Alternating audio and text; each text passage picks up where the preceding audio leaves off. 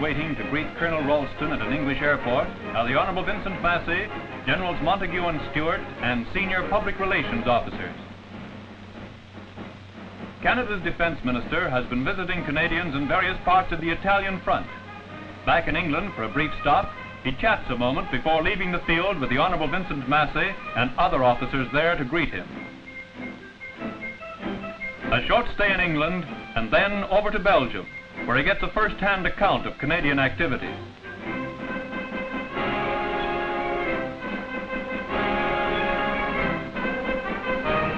At a Canadian General Hospital, Colonel Ralston chats with many Canadians who were wounded in the savage fighting along the coast and are now receiving the best of medical care to restore them to health. Leaving the hospital, he says goodbye to the officer commanding Colonel Hume, Major M.M. McLaren, principal matron, and others of the staff. The defense minister inspects troops in Belgium.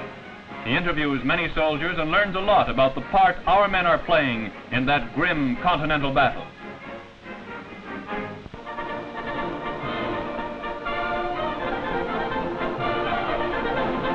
King George steps from a plane in Belgium for the investiture of senior Canadian Army leaders. He is greeted by Lieutenant General Guy Simonds and other officers. Shortly afterwards, he enters the open-air square where the ceremony is held.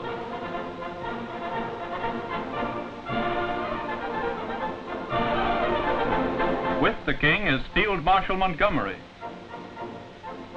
The king makes General Simonds the commander of the band. Major General D.C. Spry of Halifax receives the DSO.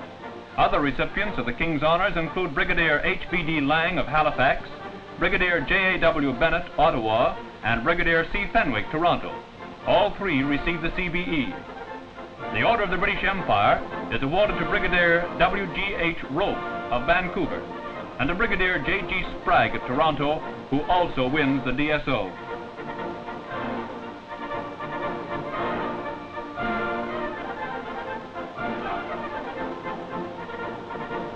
Chat with the Guard Commander is followed by an inspection of the Guard of Honor before leaving Investiture Square with Prince Charles, Regent of Belgium. Canadians line the road as he departs and cheer enthusiastically at the close of the historic ceremony held on ground hard won by the Allies a short time before.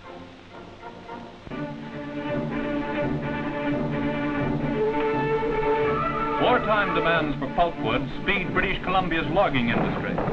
The men in the forests of the Pacific coast have been able to speed up operations by 300% through the use of new high-speed power saws. What used to take two hours by two men with two axes now takes five minutes.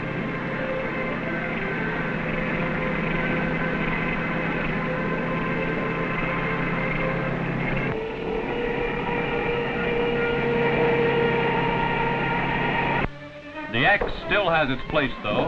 An undercut is chopped to control where the tree will fall, and the handle inserted in the cut indicates the approximate direction. The Germans were the first to use power saws. In the last war, they introduced them as a secret weapon, felling trees to block Allied advances.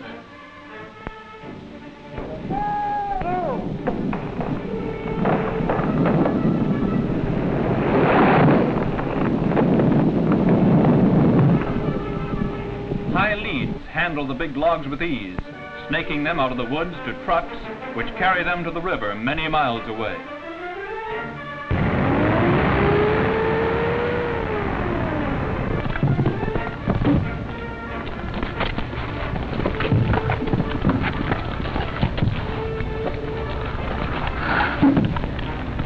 Boom experts them into booms. Tugs haul the giant booms, sometimes a quarter of a mile long, to the pulp mills. Pullers have to be as sure-footed as cats. Many of them can't even swim. It's a tricky business, and the loggers have to be literally on their toes. At the mill, the logs are sorted and poled to the jack ladder.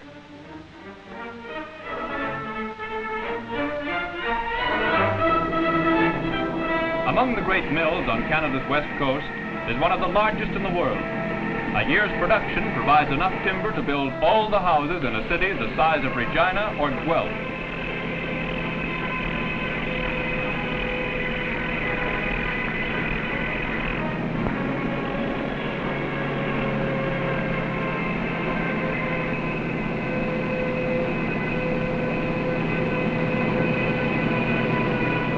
Each kind of wood has its special uses.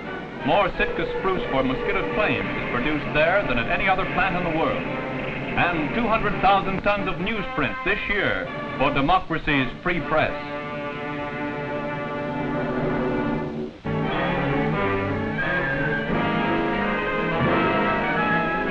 Canadian light tanks and vehicles gather near Rimini on the Adriatic. At zero hour, they get underway and move down an Italian road, heading for the front, where our guns command an important enemy position across the valley.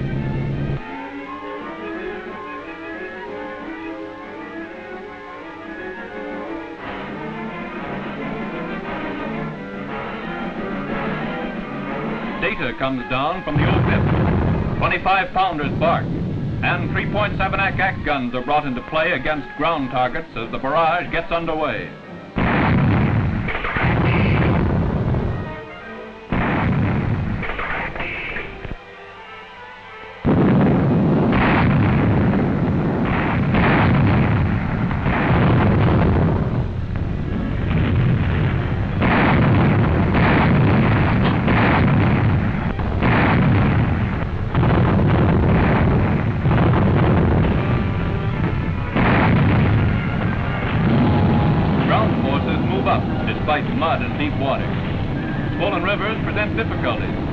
One point the advance is temporarily halted.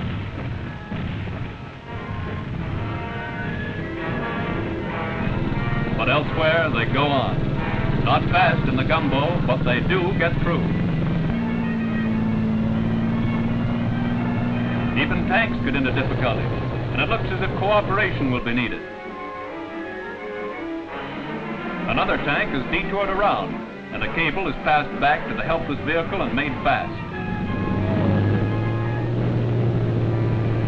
Through mud and rain, they keep on, and tanks enter a wrecked village to be followed by lighter military traffic.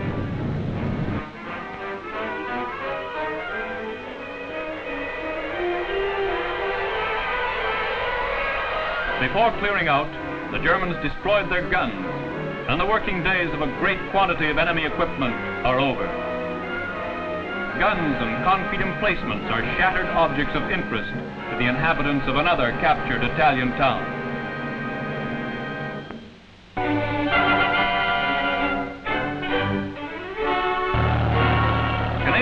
Vehicles are on the move again in Belgium to be greeted enthusiastically by the citizens of another liberated town. Troop-laden trucks move in along the canal bank.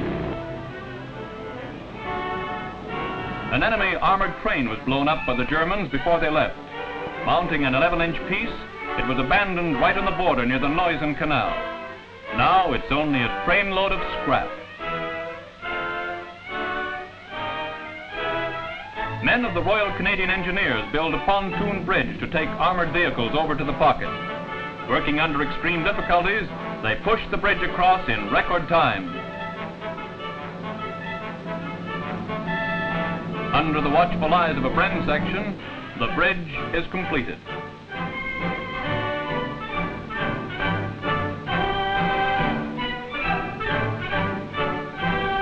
A protective smoke screen is laid by a unit of the British Pioneer Corps.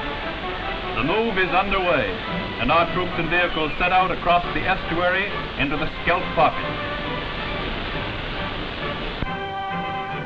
Beyond the flooded area is the target and a rocket-carrying Typhoon dives on the position. Not content with rockets alone, the Tiffy pilots swing in again after their first dives to machine gun the blasted position.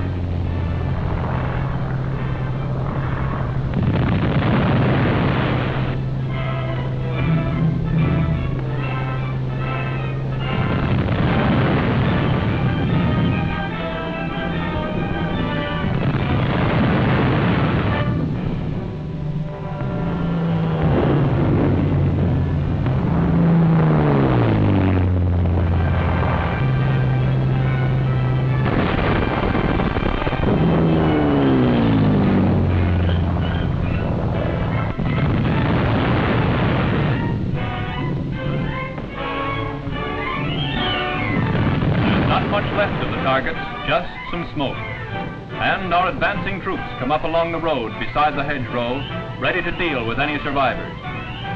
over the border, and our transport never pauses. They are followed by the 25-pounders and more trucks, pushing on, pursuing the enemy with steady, relentless pressure, clearing him from the Scheldt Butte.